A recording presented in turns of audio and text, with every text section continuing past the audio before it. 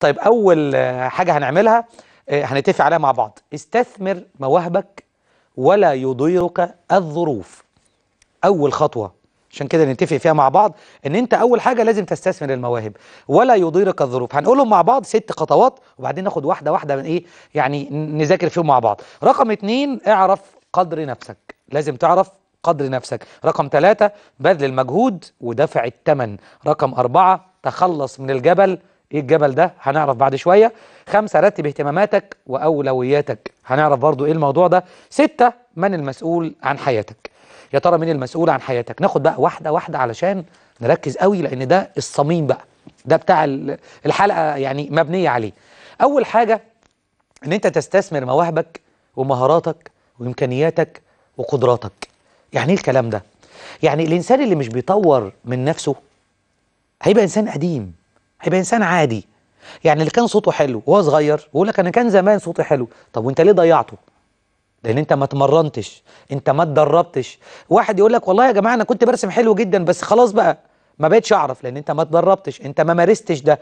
فعلشان كده مهما يقابلك من صعوبات أو مشاكل الضربة التي لا تميتك ولا تقسم ظهرك تقويك. اعرف إمكانياتك كويس.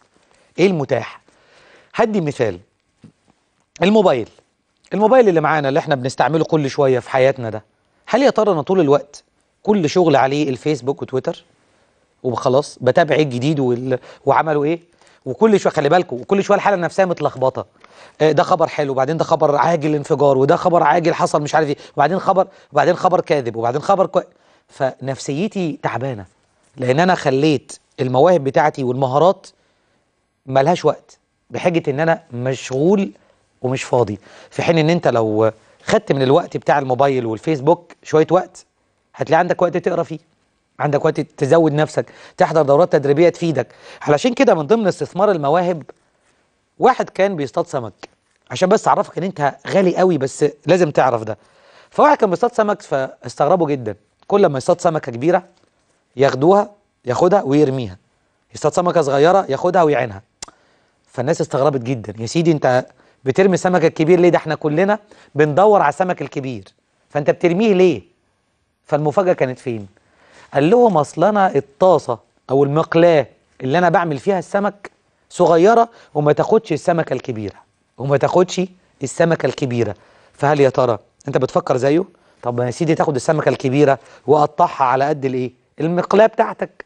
ليه ترمي الح... آه ما, تت... ما تخافش من التغيير. ما تتفاجئش بيه. ما تهربش منه. جرب واقتحم. مش إحنا بنقول العقل عدو ما يجهل؟ آه. طب ما تخليه مش مش ما يجهل. طب ما تخليه يجرب عشان يبقى العقل عرف اللي عايز يعرفه بدل ما هو كله ما يجهل.